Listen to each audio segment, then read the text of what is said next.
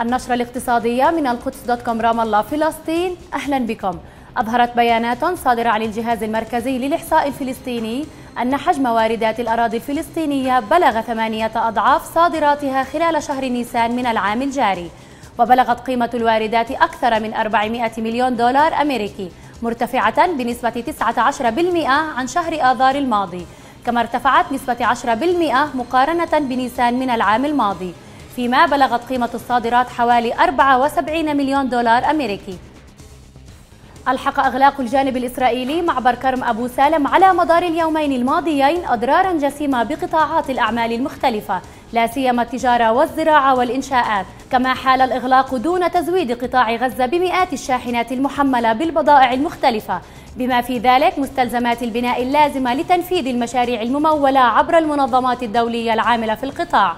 بالإضافة إلى عدم تصدير كمية من منتجات المحاصيل التصديرية. قال وزير الاستثمار المصري يحيى حامد في مؤتمر استثمار أمس إن بلاده تسعى لتوفير مليون وظيفة خلال سبع سنوات وأضاف أن حكومة مصر تعتزم استثمار ثمانية مليارات دولار خلال السنة المالية الحالية. ووفق بيانات رسمية فقد ارتفعت نسبة البطالة في مصر إلى 13% العام الماضي ليصل عدد العاطلين عن العمل إلى 3 ملايين ونصف المليون عاطل.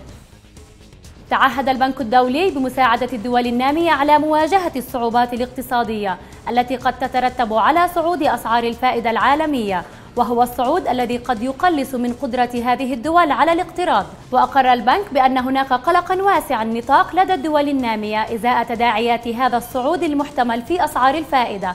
وذلك بعد إعلان مجلس الاحتياطي الفيدرالي الأمريكي قبل أيام. اعتزامه الحد من برنامجه الضخم للتحفيز الاقتصادي اعتبارا من بداية العام المقبل. وأخيرا أسعار العملات مقابل الشيكل.